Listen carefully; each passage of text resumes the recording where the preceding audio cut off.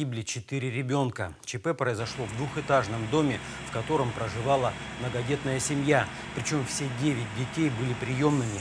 Сигнал на пульт МЧС поступил около 11 вечера. К моменту прибытия первых пожарных подразделений частный дом был полностью охвачен огнем. Площадь пожара составила 200 квадратных метров.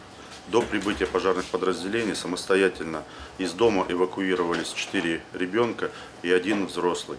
Один ребенок 2014 года рождения получил травмы, находится в ЦРБ города Калачинск. К приезду пожарных у здания рухнула кровля. С огнем боролись 13 спасателей на четырех машинах. Пожар локализовали к двум часам ночи.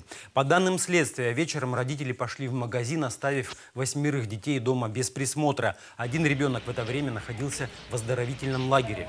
Родителей в момент возгорания дома не было. Они, с их слов, ушли в магазин. Когда они вернулись, то увидели, что им навстречу бегут 10-летние, э, 11-летние дети и сообщили о том, что горит дом.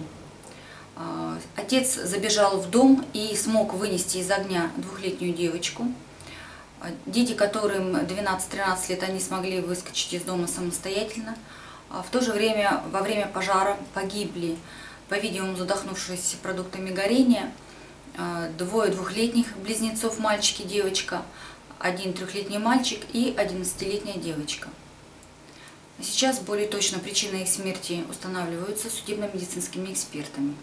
Как рассказали выжившие дети, в комнате загорелся плазменный телевизор. Возможно, произошло короткое замыкание.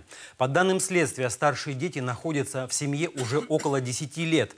Двое повзрослевших воспитанников ушли и живут отдельно. А полгода назад родители взяли в семью четверых малышей в возрасте от 2 до 3 лет. Следственный комитет возбудил уголовное дело по статье «Причинение смерти по неосторожности двум и более лицам».